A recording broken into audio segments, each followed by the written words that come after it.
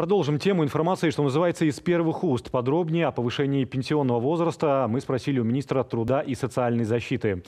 Главный эфир прибыл к Мариане Щеткиной с вопросами, которые сегодня, безусловно, волнуют всех. Как будет выглядеть сама процедура? Каким образом спросят общество?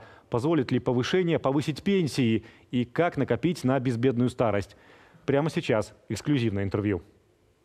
Марьяна Киндиновна, вот по итогам совещания у президента, которое состоялось накануне, вы отметили, что возможность повышения пенсионного возраста в нашей стране – это пока только предложение. И еще необходимо учесть э, общественное мнение.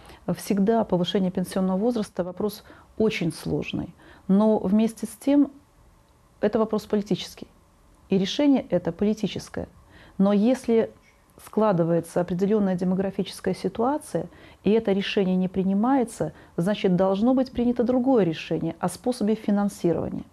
Mm-hmm. Например, в Норвегии используют нефтяной фонд для того, чтобы э, поступали средства в пенсионный фонд. В ряде государств используют э, республиканский или федеральный бюджет, так называемый.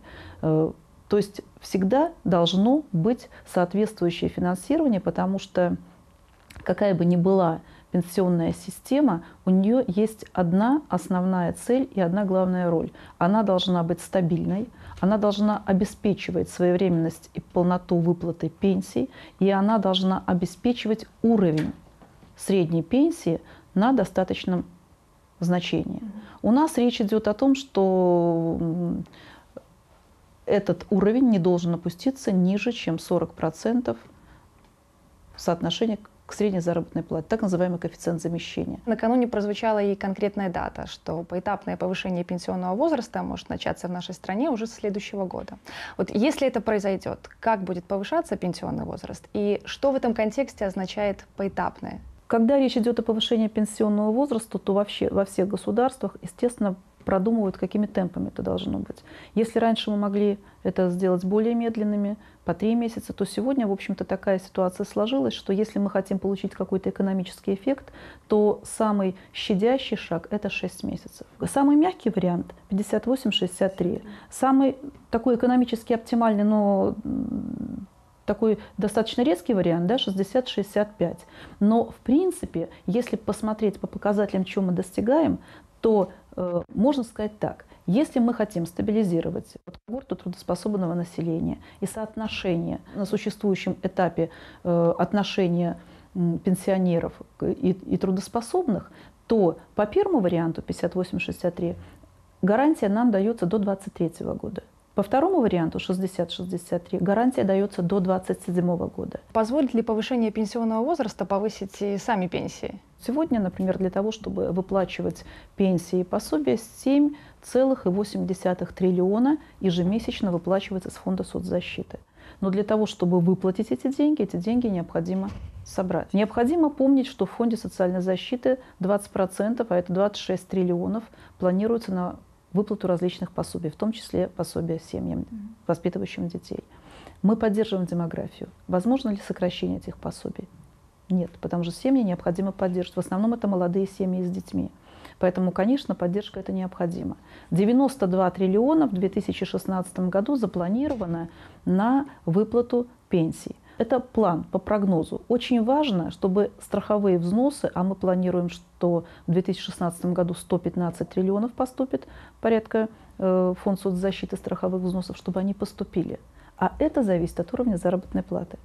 Поэтому, конечно, очень важно, чтобы доходы были легальные, и, соответственно, очень важно, чтобы человек тоже понимал, что его размер пенсии э, и сейчас зависит, и в дальнейшем будет зависеть от продолжительности стажа и от величины заработной платы. Но не только от одной заработной платы, от того дохода, из которого исчисляется э, тариф э, Фонд социальной защиты населения. Потом это все ляжет в основу для расчета его индивидуального коэффициента и его размера пенсии. Необходимость повышения пенсионного возраста, она ведь возникла не вчера, и, как вы сказали, это комплекс причин, в том числе и проблема вот этой самой солидарной системы, когда сами пенсии зависят от количества людей, работающих в стране.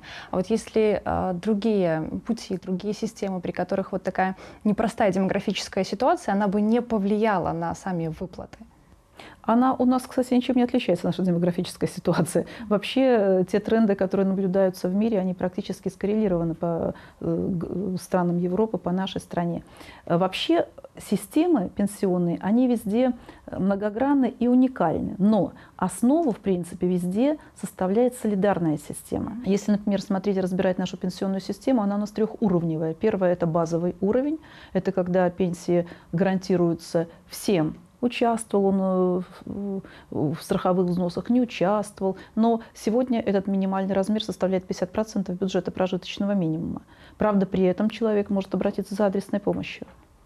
Э, вторая – это солидарная часть пенсии. Это в основном там, где трудоспособные содержат нетрудоспособных. И третье – это добровольное накопительное пенсионное страхование. То есть это добавка к пенсии.